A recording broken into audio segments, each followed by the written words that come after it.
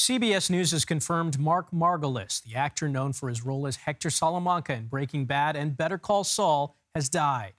He's also known for his breakout role as Alberto the Shadow in the 1983 film Scarface. He appeared in more than 70 films across five decades, as well as more than 50 off Broadway shows. His son says he was recently suffering from an illness. He was 83 years old.